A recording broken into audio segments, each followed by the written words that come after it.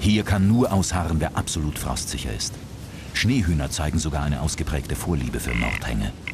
Dort ist es zwar kälter, dafür können sich die Hühner für die Nacht im weichen Pulverschnee eingraben, der wärmeisolierend wirkt.